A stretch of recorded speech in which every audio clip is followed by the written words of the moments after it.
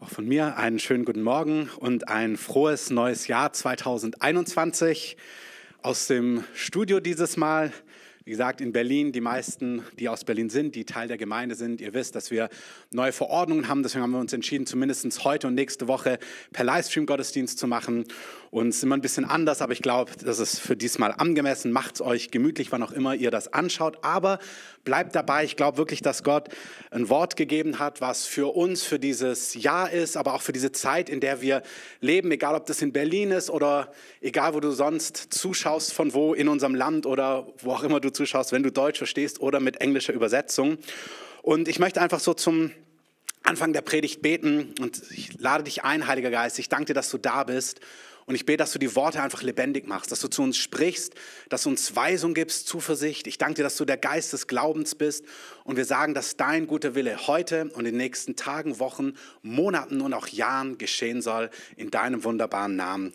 Amen.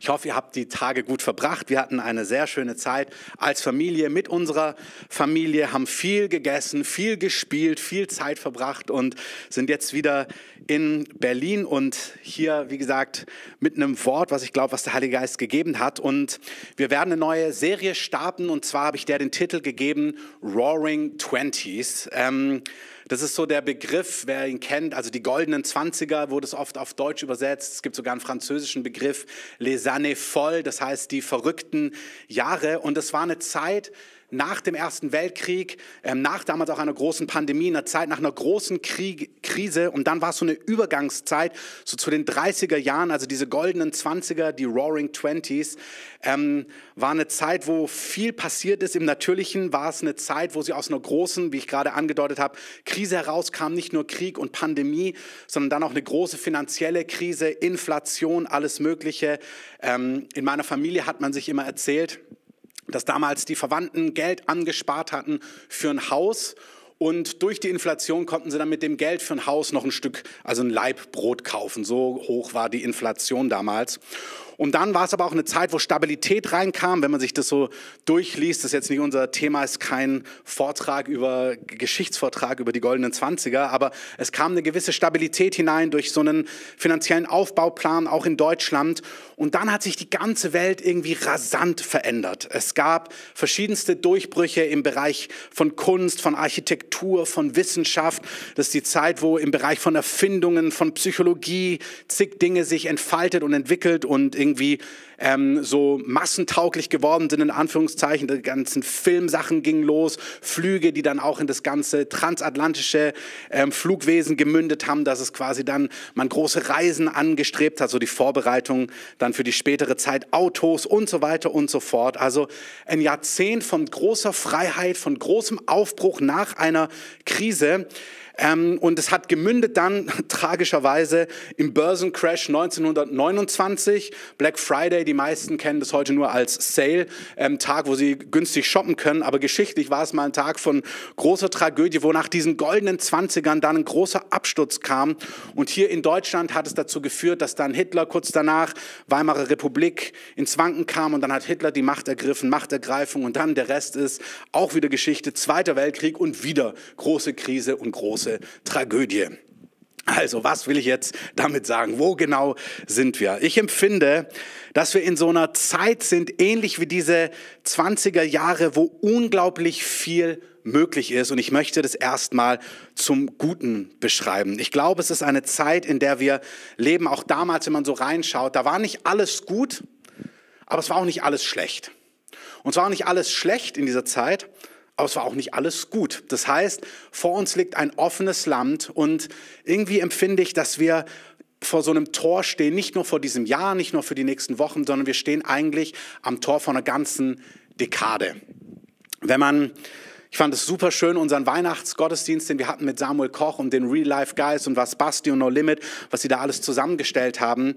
Und der Samuel Koch hat an einer Stelle das so schön im Psalm zitiert, Herr, ähm, erinnere uns daran, dass wir eines Tages sterben, ähm, damit wir weise sind. Und was der Psalmist damit meint, ist, lass uns unser Leben, unsere Zeit gut auskaufen. Zeit geht so schnell vorbei. Und ich habe mal überlegt, so eine Dekade, zehn Jahre. Vor zehn Jahren, 2010, weiß ich genau, was ich gemacht habe und es ist, wirkt wie gestern. Manchmal ist man so viel beschäftigt im Hier und Jetzt und es gibt so viel, was direkt vor einem liegt. Aber manchmal ist es, glaube ich, total gut, so ein bisschen den Blick zu heben und ein bisschen weiter zu schauen, weil zehn Jahre, die vergehen im Nu. Und ich glaube, wir sind an so einem Tor zu einer Dekade und der Heilige Geist lädt uns ein, diese Dekade, nicht nur dieses Jahr, mit ihm zu gestalten, voller Zuversicht, voller Glauben, voller Hingabe und wie das aussehen kann und wie wir sie prägen können. Und diese Vakuumphase, so nenne ich es, also die Welt hat sich im letzten Jahr rasant verändert. Ich glaube, wir wissen noch gar nicht genau die Auswirkungen und auch das ist nicht im Detail mein Thema heute irgendwie so eine ähm, Gesellschaftsanalyse, was sind jetzt die Folgen davon. Aber das, was wir erlebt haben, diese Pandemie, in der wir sind, egal wie die Hintergründe sind, hat die Welt rasant verändert und Dinge werden es bleibt nichts, wie es ist in gewisser Form. Und ich glaube, der Heilige Geist lädt uns ein, nicht Angst zu haben, nicht sorgenvoll zu sein, sondern voll des Geistes zu sein, voller Zuversicht, voller Glauben. Der Prophet Daniel sagt, dass diejenigen, die ihren Gott kennen, die werden sich in herausfordernden, turbulenten Zeiten als stark erweisen. Und sie werden nicht nur für ihr eigenes Leben Stärke haben, sondern sie werden die Kapazität haben, anderen zu helfen, anderen mit Rat und Tat und Zuversicht zur Seite zu stehen und auf den hinzuweisen, der unser unerschütterlicher Felsen ist. Amen. Das heißt, in dieser Vakuumphase, in die wir hineinkommen, vieles ist unklar. Wird das alles besser? Wird alles schlechter? Wird es gut? Ähm, wird die Wirtschaft sich schnell erholen oder bricht noch mehr zusammen? Gibt es noch mehr Pleiten? Es gibt so viele Fragen. Und der Heilige Geist möchte uns etwas an die Hand geben, dass wir gut durch die nächsten Wochen und Monate, aber auch durch die nächsten Jahre und durch die nächsten Dekade kommen. Eigentlich, dass wir gut durch unser Leben kommen. Das ist das Schöne, dass Gott uns Dinge an die Hand gibt, die funktionieren zu allen Zeiten. Ob es großartige Zeiten sind, ob es herausfordernde Zeiten sind, ob es Krisen sind, ob es keine Krisen sind, ob es für eine Woche, für einen Monat, für ein Jahr oder für die nächsten Jahrzehnte ist. Es gibt Grundwahrheiten im Wort Gottes. Wenn wir die etablieren, wenn wir aus denen leben, dann kommen wir gut durch die Zeiten, die vor uns liegen, hindurch. Amen. Das heißt, die Roaring Twenties, eine Dekade, wo viel möglich ist, wo ein gewisses Vakuum da ist. Und ich möchte kurz zu Anfang einfach diejenigen ansprechen unter euch, die so einen Pioniergeist haben. Ich möchte euch zusprechen und auch prophetisch zusprechen, dass ich glaube, dass wir in eine Phase hineinkommen, wo ganz viel möglich ist. Dem Glaubenden ist bekannterweise nach dem Wort Gottes sogar alles möglich. Und ich möchte euch zusprechen, es ist eine Zeit, wo ihr viel Land gut machen könnt. Egal, was so euer Pfund ist, was eure Berufung ist, ob das im Bereich Politik, Kunst, Finanzen, ob ihr Pioniere seid im Kontext Gemeindebau, Gemeindegründung, Mission, wenn ihr die Enden der Erde erreichen wollt, egal um was es geht. Ich glaube, wir kommen jetzt in eine Phase hinein oder wir sind in einer Phase, wo durch die Zeit, durch die wir jetzt hindurchgegangen sind, dass die, die mit Gott unterwegs sind, für euch eröffnen sich wunderbare Möglichkeiten und macht euch fest, schaut, was der Heilige Geist euch aufs Herz gegeben hat, brütet mit ihm über diese Ideen und macht euch fest, dass ihr diese Dinge konkret angeht in den Jahren, die vor euch liegen. Ich glaube, ähm, es ist eine Zeit, wo wir viel gutes Land gut machen können und bleibt nicht beim Träumen, bleibt nicht in der Theorie, sondern macht es fest, geht Schritte, setzt euch Ziele mit dem Heiligen Geist zusammen, nicht aus einer eigenen Weisheit, aber redet mit dem Heiligen Geist drüber und macht euch fest, wo ihr in zehn Jahren sein wollt. Ich habe in meiner Bibel so einen Zettel, den ich vor Jahren geschrieben habe, wo ich konkrete Dinge genannt habe. Für mich persönlich, für unsere Familie, für unsere Finanzen, für unseren Dienst. Und ich habe den jetzt, ich habe ich hab den oft gesehen, auch oft durchgelesen. Und alles ist jetzt eigentlich erfüllt, was auf diesem Zettel drauf stand. Ich habe den so vor einigen Jahren, vielleicht sieben, acht Jahren geschrieben. Und jetzt habe ich einen neuen Zettel geschrieben, wo ich die nächsten Dinge draufgeschrieben habe für die nächsten zehn Jahre. Und ich merke, der Heilige Geist, der ermutigt uns im Psalm 21, das Verlangen unserer Herzen und das Verlangen unserer Lippen, die, die Wünsche unseres Herzens, das Verlangen unserer Lippen, das verweigert Gott nicht, sondern er liebt es, diese Dinge zu erfüllen. Deswegen es ist eine Zeit, Dinge konkret zu machen. Wer bist du? Wer bist du im Herrn? Wozu bist du auf dieser Erde? Was hat Gott dir gegeben? Was ist deine Berufung? Was ist dein Pfund? Was hat er mit dir vor? Und es ist eine Zeit, es aufzuschreiben, es festzumachen. Wenn du spürst, ja, das ist es, aber du ringst und merkst, oh, es fällt dir noch schwer zu glauben, brüte mit dem Heiligen Geist darüber. Er will dir Gewissheit geben, er will dir Sicherheit geben und du sollst jemand sein, durch den die nächsten zehn Jahre, ist interessant, normalerweise sind unsere Neujahrspredigten immer nur fürs kommende Jahr, aber irgendwie ist dieses Jahr ein Tor in eine Dekade. Und Der Heilige Geist möchte durch dich und mit dir gemeinsam, dass du ein Segen bist für viele in den Jahren, die vor dir liegen. Und dass du Dinge ganz konkret festmachst, dich nicht erschüttern lässt, nicht furchtsam bist. Wir haben nicht einen Geist der Furchtsamkeit empfangen. So hat es uns Jonathan vor der ähm, Weihnachtspause gesagt. Wir haben nicht einen Geist von Furcht, von Angst, sondern der Heilige Geist ist ein Geist von Kraft, ist ein Geist von Liebe und er ist ein Geist von Selbstbeherrschung, wo du, wo du Zuversicht haben kannst und wo du die Dinge auch umsetzen kannst, die Gott mit dir vorbereitet hat. Amen. Das zweite ist an dieser Stelle gleichzeitig, obwohl ich sehr positiv bin, was das Ganze angeht, ähm, was der Heilige Geist vorbereitet hat, und ich glaube, alles ist möglich, weiß ich nicht, wie viel von diesem Guten in dieser Zeit einfach möglich ist. Auch das möchte ich heute nur andeuten, Psalm 2, bitte schlagt ihn zu Hause auf und lest ihn euch durch. Jetzt nicht ganz, aber mal im Nachklang. Psalm 2, da schreibt der Psalmist in Vers 1, warum toben die Nationen und warum sinnen die Völkerschaften eitles? Es treten auf die Könige der Erde und Fürsten tun sich zusammen gegen den Herrn und seinen Gesalbten.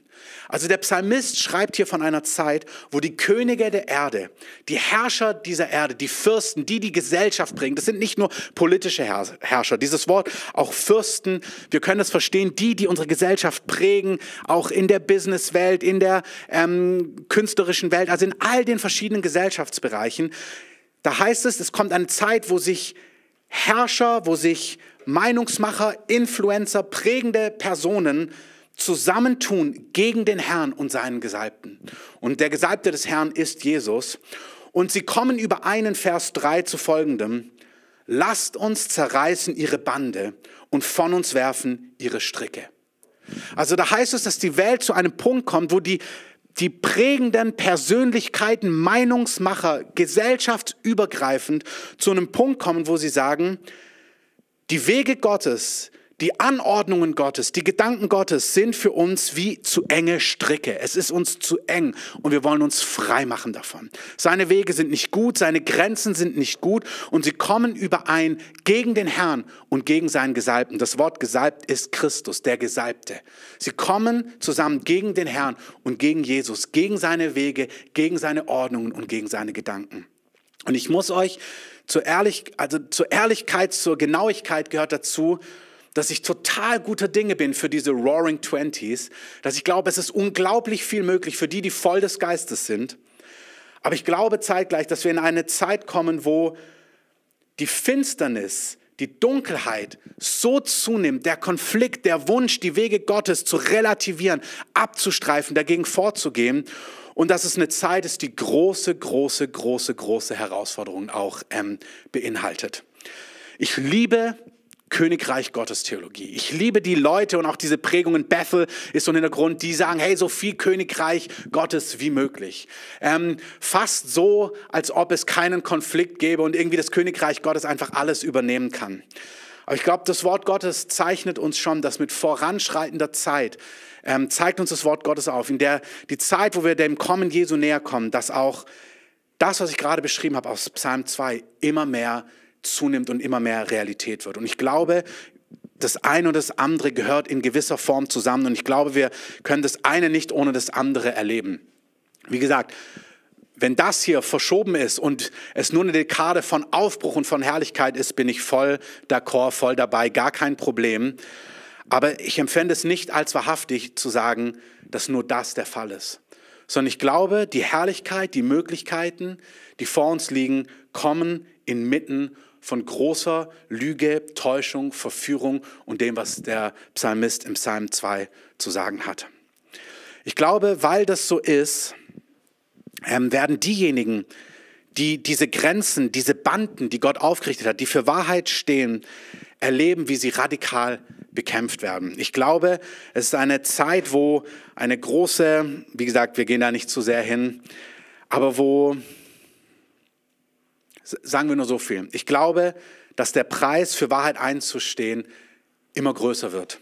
Und deswegen glaube ich, dass unsere einzige Möglichkeit jetzt mal auf unser Land bezogen ist. Wir brauchen in dieser Dekade, dass unsere Nation sich zum Herrn hinwendet. Das ist das Beste, was uns passieren kann. Wir leben in einer Demokratie und ich wünsche mir, ich glaube, das Beste, was wir tun können, ist voll des Geistes vorwärts zu gehen und dafür zu sorgen, dass so viele Menschen wie möglich, eigentlich, dass unsere Nation im großen Stil sich zu Jesus wendet und damit zu seinen Worten und zu seinen Werten. Und in mir will ich erwarten, dass das möglich ist. Amen. Und das andere weit hinausgeschoben wird, aber das lassen wir für heute beim Herrn und er weiß, wie es aussieht. Wie also sollen wir leben, wenn das der Fall ist? Alles ist möglich und vielleicht inmitten von großem Konflikt und großer Herausforderung, wenn wir für Wahrheit und seine Wege und seine Werte einstehen. Also inmitten dieser zwei Pole. Ich möchte mir einfach ein paar Punkte mit euch gemeinsam vor Augen halten. Ähm, es gibt dieses Spiel, wenn ich meinen Koffer packe und dann, was packst du mit rein, irgendwie, wenn du auf so eine Reise gehst? Und ich habe mir so gedacht, wenn ich auf eine Reise gehe oder in dieser Dekade, wenn ich so meinen Köcher packe, was für Pfeile packe ich da rein? Was ist wichtig für die Zeit, in der wir leben und für die Zeit, die vor uns liegt? Wir werden weitere Dinge sagen in den nächsten Wochen. Wir, man kann es ergänzen, das ist garantiert nicht das ganze Bild. Aber ich habe so ein Wort empfunden, was einfach entscheidend ist für jetzt aber eigentlich bis dein Lauf vollendet ist. Und das ist, verliere dein Leben. Jesus sagt in Matthäus 16, wenn jemand mir nachkommen will, verleugne er sich selbst und nehme sein Kreuz auf und folge mir nach. Denn wer sein Leben retten will, der wird es verlieren. Wer aber sein Leben verliert um meinetwillen, der wird es finden. Und Lukas beschreibt es so, Wer sein Leben verliert um meinetwillen, der wird es retten. Also in Anbetracht am Anfang einer Reise vor einem Jahrzehnt, was unglaubliche Möglichkeiten beinhaltet und wahrscheinlich auch unglaublichen Konflikt, wie wir ihn noch nie erlebt haben. Und ich glaube schon, dass beides zusammenkommt. Wollen wir alle unser Leben retten. Wir wollen, dass es unserem Leben gut geht. Und Jesus sagt, gut, nichts falsch dran. Dein Leben soll gerettet sein. Du sollst das Leben finden. Und hier ist die Strategie verliere es.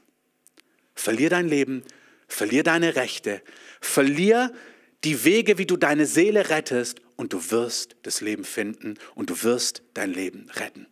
Es ist nichts falsch, an dem Wunsch gut durchzukommen. Es ist nichts falsch danach, an der Sehnsucht, das Jahrzehnt gut zu gestalten. Ihr sagt, wunderbar, hier ist die Strategie. Das Wort Leben im Griechischen ist das Wort Psyche, also Seele. Man könnte also auch lesen, wer seine Seele retten will, der wird sie verlieren.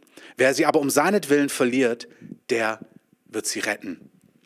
Das Wort Seele, in unserer Seele sind unsere Gefühle beinhaltet, also unsere Seele fühlt, unser Wille ist Teil der Seele und unser Verstand. Ich sage es nochmal, unseren Intellekt befriedigen, unsere Gefühle, unseren Willen, wie wir unser Leben gestalten, dass es unserer Seele gut geht. Also als Beispiel, wenn du sicher sein möchtest im Bereich Finanzen, hast du eine Art und Weise, wie du damit umgehst, da muss nichts falsch sein, aber du lebst auf eine Art und Weise, dass deine Seele befriedigt und auch befriedet ist. Und daran ist nichts falsch. Aber Jesus sagt, wenn du mir erlaubst, dass du dein Leben verlierst, deine Wege, deine Rechte, die Art, wie man es macht, die dir auch antrainiert ist. Wie gesagt, muss nicht zwingend falsch sein, aber wenn du als Grundentscheidung ähm, wenn du die Grundentscheidung triffst, dein Leben, deine Seele, deine Wege, deine Art, wie du dich befriedigst und auch befriedest, dich mit Frieden füllst und auch mit Freude füllst, wenn du mir erlaubst, wenn du das verlierst, wenn du das loslässt und mir erlaubst, es auf meine Art und Weise zu tun und mir nachfolgst, ich garantiere dir, dann wirst du und deine Seele genau das finden, was du suchst. Unsere Seele sucht nämlich nach Frieden, nach Freude, nach Glück und nach Ekstase. Und Jesus sagt, du bekommst all das. In einer Zeit, die vor uns liegt, die so unsicher ist. Man weiß gar nicht, so viele Experten, die einen sehen das, die anderen sehen das, die einen analysieren in diese Art, die anderen analysieren in diese Art. Wir kommen in eine Zeit, wo so viel unsicher ist. Und Jesus sagt dir, ich habe das, was deine Seele braucht. Echten Frieden, echte Freude, echte Ekstase, echte Gerechtigkeit, echte Geborgenheit. Du bekommst es, indem du dein Leben, deine Rechte verlierst und dein Leben auf meine Art und Weise gestaltest. Amen. Du kommst erfolgreich durch das kommende Jahr, steht hier, durch die Dekade und du kommst erfolgreich ans Ziel in deinem Leben, wenn du tust, was er sagt. Jesus sagt in Matthäus 7, Vers 24, ein Mann, der meine Worte hört, und das gilt auch für die Frauen, eine Frau, die meine Worte hört und sie tut, ist wie ein Mann oder eine Frau, die ihr Haus auf Felsen baut.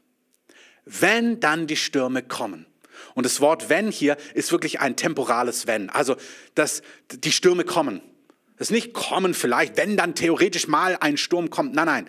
Er sagt, wenn du meine Worte hörst und tust, was ich dir sage, also dein Leben verlierst, deine Logik hinter meine anstellst, deine Wünsche hinter meine Wünsche anstellst, deine Gefühle von mir prägen lässt. Wie gesagt, an all den Dingen ist nichts falsch, aber wenn du es auf die richtige Art und Weise, in der richtigen ähm, Ordnung lebst, dann wirst du dein Leben gewinnen. Dann bist du jemand, der sein Haus auf Felsen baut. Und wenn dann ein Sturm kommt, der gewiss kommt, und wir sind ja mitten in so einem Sturm, wer hätte es gedacht? Wenn du dann in so einem Sturm bist, dann ist dein Haus auf Felsen gebaut und unerschütterlich. Und das ist, was wir für die nächste Dekade brauchen.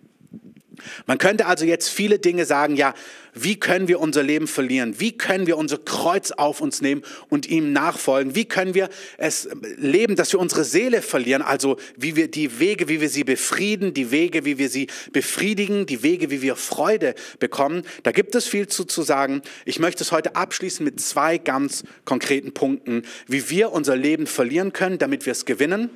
Und indem du dein Leben verlierst und es gewinnst, hörst du seine Worte und du tust sie und damit baust du dein Haus auf Felsen und damit ist dein Haus sicher in Zeiten von großen Möglichkeiten, aber auch großen Herausforderungen, die vor uns liegen. Zwei konkrete Beispiele. Das erste ist der ganze Bereich Finanzen, dazu möchte ich etwas sagen. Meine Frau und ich, wir als Familie, ich möchte euch da kurz mit reinnehmen, wie leben wir unser Leben mit Finanzen? Wir leben es so, dass es eine gewisse, und auch hier gibt es unterschiedliche Phasen. Wir haben mal die Gemeindearbeit pioniert, da haben wir anders gelebt aus Glauben. Heute sieht es momentan so aus, dass wir, und momentan sage ich, weil aus Glauben leben bedeutet, wir leben aus der Führung und den Worten Gottes. Manche denken, aus Glauben leben bedeutet, du kennst es dein Job, du verkaufst alles, du tust dieses und jenes und gehst als Missionar an die Enden der Welt. Das ist aus Glauben leben, wenn es der Heilige Geist dir vorlegt. Amen. Wenn aber der Heilige Geist sagt, hey, mach deinen Job, deinen 40-Stunden-Job, geh in die Politik, geh in die Wirtschaft, studier Sozialpädagogik, sei treu am Fließband und du das machst, dann ist das auch aus Glauben leben und nicht weniger geistlich. Auch dazu Amen. Aus Glauben leben bedeutet wirklich aus den Worten und der Führung Gottes zu leben. Momentan ist die Führung Gottes für unser Leben ist, dass wir eine Anstellung haben in dieser wunderbaren Gemeinde. Wir haben ein monatliches Gehalt. Wir nehmen dieses Gehalt für unseren Alltag. Wir legen Geld zurück. Wir sparen Geld. Wir legen Geld an. Ähm, wir geben Geld an andere Menschen, Werke, Dienste, Arme und so weiter, weiter in verschiedenen Kontexten. Und wir verwalten unser Geld treu. Aber wir leben mit offenen Händen. Was ich damit meine, ist, nichts von dem, was uns gehört, gehört uns wirklich. Wir haben Geld zurückgelegt für unseren Sommerurlaub, den wir planen. Wir planen, wo wir hinfliegen, wir planen, wo wir hinfahren, wir planen, was wir machen. Wir sparen Geld dafür, wir legen es zurück. Aber wenn Gott morgen sagt, ich möchte diese 1000, 2000, 2500 Euro, was auch immer, dann gehören sie ihm. Das heißt, ich lebe mein Leben, indem ich mich, mein, mein Frieden liegt nicht darin, dass ich genug Geld auf der hohen Kante habe oder in Urlaub fliegen kann oder dieses und jenes. Mein Frieden, mein Leben, mein Glück, meine Freude liegt darin, dass ich in den Wegen Gottes bin und abhängig gegenüber ihm und wir abhängig gegenüber ihm leben im Bereich Finanzen. Und ich weiß, dass es eine gute Art ist, weil damit investiere ich in sein unerschütterliches Reich. Mein Versorger ist nicht mein Arbeitgeber. Mein Versorger, und ich habe einen guten Arbeitgeber, aber mein Versorger ist tatsächlich der Herr. Und er ist verantwortlich dafür. Und was weiß ich, was in fünf Jahren ist? Ich habe euch einleitend gesagt, meine Familie hatte Geld gespart für ein Haus und dann konntest du damit noch Brot kaufen. Und Gott weiß, was in fünf Jahren ist. Und Gott weiß, was in sieben Jahren ist. Und deswegen ist es so entscheidend, dass du dein Leben in Abhängigkeit zu ihm lebst im Bereich Finanzen. Lukas 12, da heißt es, Verkauft eure Habe und gebt Almosen. Macht euch Beutel, die nicht veralten, einen unvergänglichen Schatz in den Himmeln, wo kein Dieb sich naht und keine Motte zerstört, denn wo euer Schatz ist, da wird auch euer Herz sein. Wenn du so lebst, du musst heute nicht alles verkaufen und Almosen geben, das ist nicht die Aufforderung, die ich dir jetzt weitergebe, aber der, das Bild, was Jesus hier erwähnt ist, wenn wir so leben, dann sammeln wir einen Schatz im Himmel. Der Himmel, die unsichtbare Welt ist real. Die Engel Gottes, Psalm 103, da heißt es, sie sind Gewitter seines Wortes. Der Hebräerbrief sagt uns, dass Engel ausgesandt sind, um deren Willen für die ist real. Du kannst im Bereich Finanzen abhängig von Gott leben. Du kannst es sehr logisch machen, wie ich es gerade beschrieben habe, das machen wir auch. Und gleichzeitig, wenn Gott sagt, ich möchte das Geld, was du angelegt hast für den Hausbau, für dieses, für jenes, wenn Gott sagt, gib es, gib es als Almosen, tu das damit, geh in die Mission, gib es dorthin oder dorthin, dann vertrau, verlier dein Leben, denn wenn du dein Leben verlierst, wirst du es garantiert gewinnen. Du sammelst dir einen Schatz im Himmel, wo kein Dieb rauben kann und wo keine Motte zerstört, wo keine Inflation zuschlagen kann. Ihr wisst ja, bei Inflation und so weiter, Gold geht immer und die Straßen im Himmel sind aus Gold. Und deswegen ermutige ich euch, abhängig vom Herrn in diesem Bereich zu leben.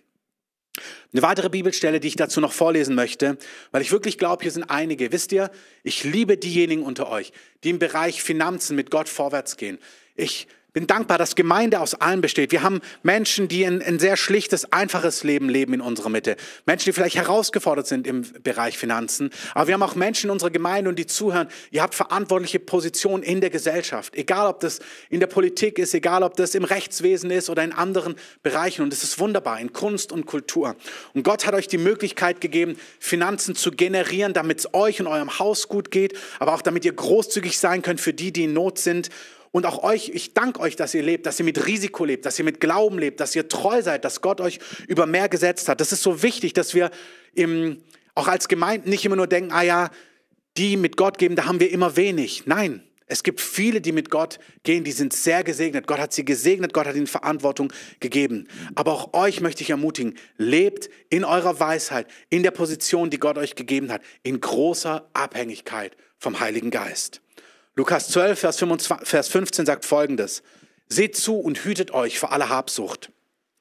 Denn auch wenn jemand Überfluss hat, besteht sein Leben nicht aus seiner Habe. Sei reich gesegnet, wenn du Überfluss hast. Hey, wir sind in einer Phase unseres Lebens, wo Gott uns wirklich gesegnet hat, wo es uns gut geht, wo ich sehr dankbar für bin. Aber mein Leben besteht nicht in meiner Habe.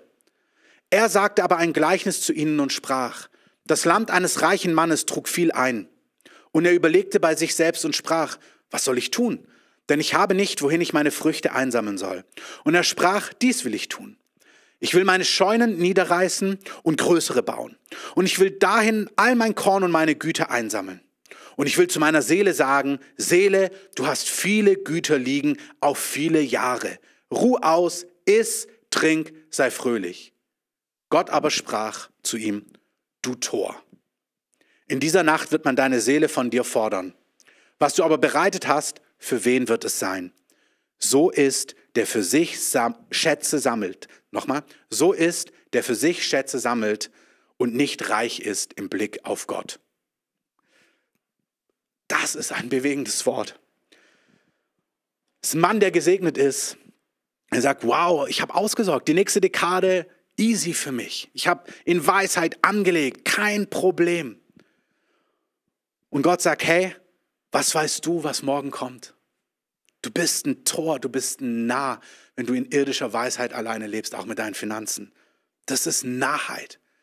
Du sollst nicht jemand sein, der für sich Schätze sammelt, aber nicht reich ist im Blick auf Gott. Das bedeutet für diejenigen, die Gott noch gar nicht kennen, vielleicht bist du wohlhabend, aber nicht versöhnt mit Gott. Versöhn dich mit Gott. Versöhn dich mit Gott, damit du ewiges Leben hast. Dieses Leben ist wie ein Hauch. Dieses Leben ist wie ein Hauch. Dieses Jahr hat uns gezeigt, was zurückliegt, wie schnell die Dinge sich verändern können. Lebe versöhnt mit Gott, aber lebe auch im Bereich Finanzen, abhängig von Gott. Frag ihn. Wenn Gott sagt, Scheune niederreißen, größere bauen, wunderbar. Wenn Gott sagt, tu dies oder jenes mit deinem Geld, noch nicht noch besser, dann ist es gut, dem zu folgen, was der Heilige Geist dir vorlegt. Amen. Was wir hier gelesen haben im Bereich Finanzen, ist Weise in deinen eigenen Augen. Auch wenn Gott dir Erfolg gegeben hat, rede mit dem Heiligen Geist. Wie sieht es aus? Was ist dran? Wie kann ich ins Königreich investieren? Und wie gesagt, damit meine ich nicht Projekte, sondern frag den Heiligen Geist. Es kann ja sein, dass der Heilige Geist sagt, investiere in eine weitere Firma, investiere in eine weitere Immobilie. Da ist nichts falsch dran. Aber mach es in Abhängigkeit vom Heiligen Geist, weil er weiß, was morgen kommt.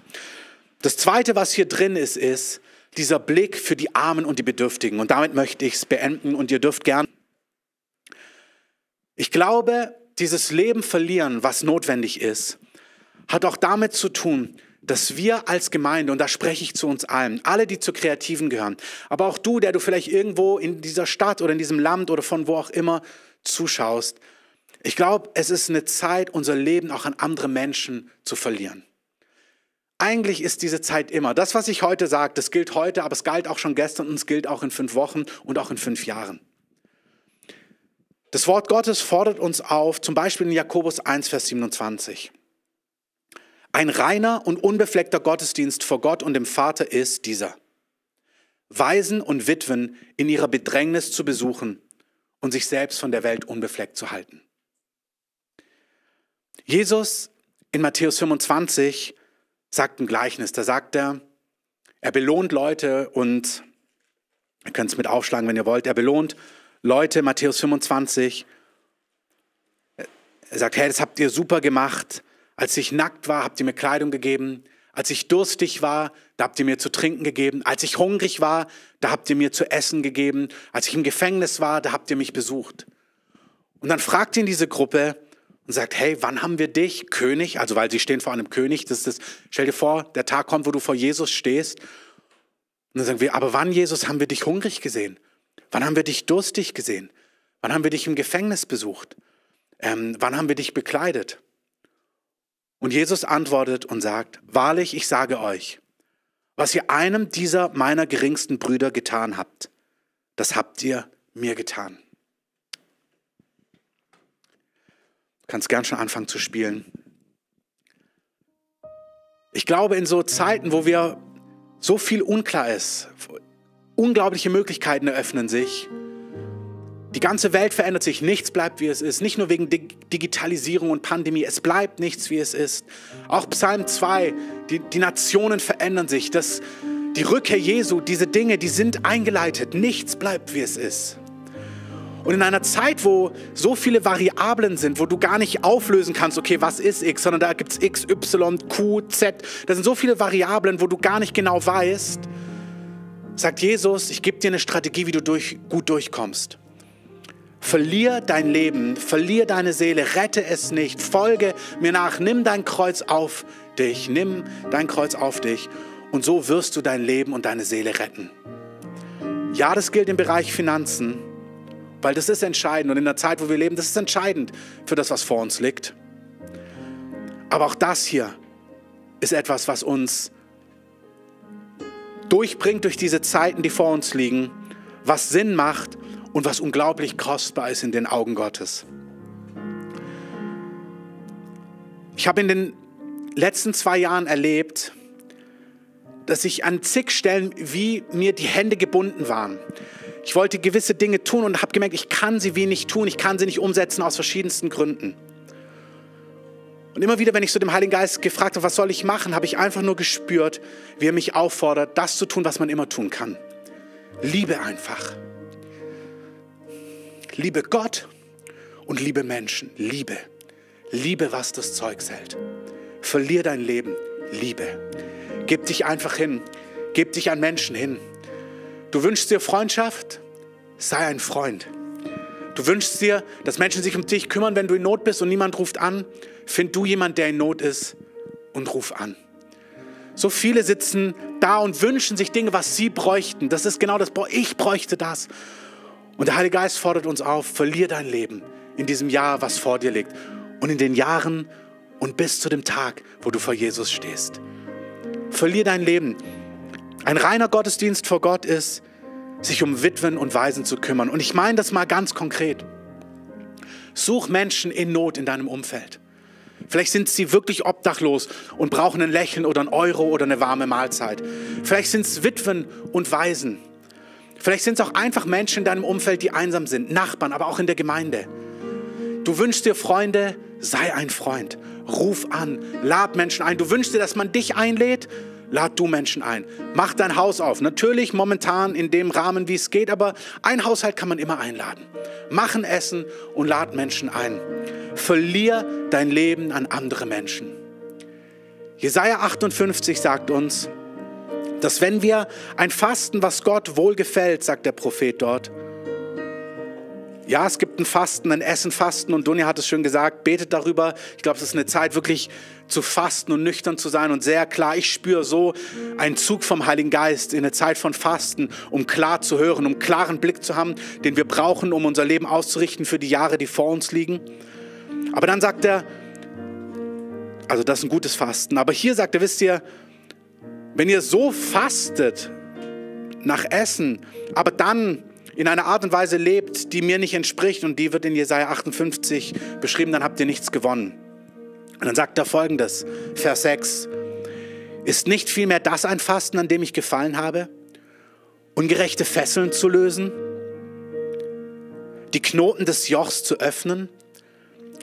Gewalttätig Behandelte als frei zu entlassen und dass ihr jedes Joch zerbrecht? Menschen in Freiheit zu führen, zu beten, dass sie gesund werden, zu beten, dass sie befreit werden, Ungerechtigkeit aufzulösen? Besteht ein Fasten, das Gott gefällt, nicht darin, Vers 7, dass du dein Brot dem Hungrigen brichst und dass du heimatlose Elende ins Haus führst? Dass, wenn du deinen Nächsten siehst und er nackt ist, dass du ihn bekleidest und dass du dich deinem Nächsten, der etwas braucht, nicht entziehst, sondern dass du Zeit und Energie und Liebe und Ermutigung und ein liebendes Wort gibst? Er sagt folgendes, Vers 8. Wenn du so lebst, wenn du dein Leben verlierst an andere Menschen, dich hingibst, dann wird dein Licht hervorbrechen wie die Morgenröte. Und hier ist ein Geheimnis. Deine Heilung wird schnell sprossen. Du willst Heilung, körperliche Heilung, innerliche Heilung, Heilung von Traumata, Heilung von Enttäuschung, Heilung von Verrat. So viele oft in der Gemeinde brauchen, sagen so viel, boah, ich bin noch nicht durch. Hey, wir sind alle noch nicht durch. Und hier sagt der Prophet, liebe, liebe andere, liebe Menschen und deine Heilung wird schnell sprossen. Dreh dich um andere, trachte nach dem Reich Gottes, Matthäus 6, Vers 33, trachte nach seiner Gerechtigkeit und all das wird dir hinzugefügt werden. Du kommst gut durch die nächsten Wochen, durch die nächsten Monate, durch die nächsten Jahre. Mach dir keine Sorgen. Wenn du so lebst, sagt er, wird deine Gerechtigkeit vor dir herziehen. Herr, und nicht nur das, die Herrlichkeit des Herrn wird deine Nachhut sein. Freunde, ich hatte in den letzten Monaten mehrere Träume, wo die Herrlichkeit Gottes gekommen ist. Und die Herrlichkeit Gottes ist da und sie kommt. Die Herrlichkeit Gottes kommt. Aber auch wenn die Herrlichkeit Gottes da ist, ist das etwas, wo wir zugerufen sind zu leben, unseren Nächsten zu lieben, uns hinzugeben. Hört noch das, Vers 9. Wenn du so lebst, wenn du dein Leben verlierst, wenn du andere liebst, wenn du dich anderen hingibst, wenn du ganz konkret Brot dem Obdachlosen, Obdach, Hilfe, einen Einsamen anrufst, Freund bist für andere, Trost bist, Witwen, Waisen, Almosen, all diese Dinge ganz konkret. Hey, in einer Zeit wie diesen sind wir als Gemeinde gerufen, eine Antwort zu sein und die Liebe Gottes zu manifestieren. Durch Worte, durch Gebet, durch Dienen. Du kannst es mit gutem Gewissen tun, weil Gott kümmert sich um dich. He's got your back. Er kümmert sich um dich. Du bist in einer guten Position. Dein Vater im Himmel sieht dich. Du kannst dich um andere drehen. Er sieht dich. Deine Heilung wird schnell sprossen. Wenn du so lebst, Vers, heißt es in Vers 9, dann wirst du rufen und der Herr wird dir antworten. Du wirst um Hilfe schreien und er wird sagen, hier bin ich. Vers 11, Beständig wird der Herr dich leiten und er wird deine Seele sättigen an Orten der Dürre und er wird deine Gebeine, dein Körper stärken. Dann wirst du sein wie ein bewässerter Garten und wie ein Wasserquell, dessen Wasser nicht versiegt. Egal was kommt, du wirst sein wie ein bewässerter Garten. Das ist frisch, da sind Früchte, da ist Schatten, wenn die Sonne brennt, da ist Erquickung, da ist Erfrischung, da ist alles, was du brauchst. Jesus, so wollen wir leben. Wir wollen unser Leben verlieren, weil du hast uns versprochen, wenn wir unser Leben verlieren, wenn wir unsere Seele, unsere Rechte, unsere Wege verlieren, um uns zu befriedigen, zu befrieden, dann werden wir unser Leben retten und das wollen wir. Wir wollen ein gutes Leben haben und du verheißt uns ein gutes Leben und sagst uns, wie dieser Weg zum Glück funktioniert. Indem wir abhängig von dir sind, indem wir dir nachjagen, indem wir uns hingeben, Liebe empfangen von dir und dann radikal Menschen lieben. Radikal uns hingeben. Lieben, was das Zeug hält. Und du musst nicht aus dir lieben, sondern wenn du spürst, boah, ich habe nichts. Doch, wenn du Kind Gottes bist, dann hast du. Die Liebe Gottes ist ausgegossen in dein Herz. Du bist geliebtes Kind Gottes. Und ich segne dich, dass du so überwältigt bist von seiner Liebe, seiner Erlösung, seiner Treue, seiner Gnade. Und dass du mit dem, was du hast, und du hast etwas, vielleicht hast du noch nicht den Überfluss, aber du hast etwas. Und dass du anfängst, von dem weiterzugeben. Irgendjemand, der noch herausgefordernder ist wie du.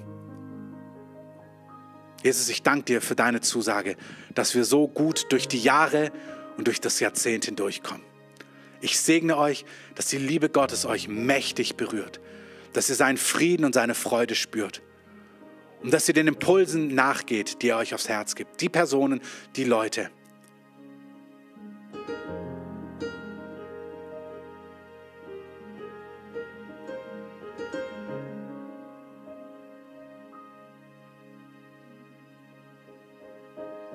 Herr, ich danke dir.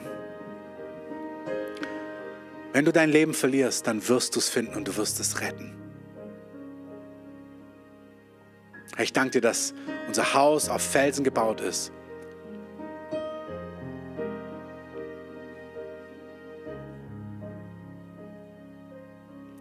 Wenn du merkst, dass du damit ringst oder dass dir schwerfällt, sprich mit jemandem darüber. Sag, hey, wie sieht es aus? Verwirf es nicht. Dann sprich mit jemandem darüber. Sag, okay, wie sieht es aus? Glaub mir, das Geheimnis ist, gerade für diejenigen, die das Gefühl haben, aber ich habe doch gar nichts. Doch, doch, du hast. Und du wirst sehen, lass dich umbauen vom Heiligen Geist. Lass dich umprägen. Deine Heilung wird schnell sprossen und alles, was du brauchst, wird dir hinzugefügt werden.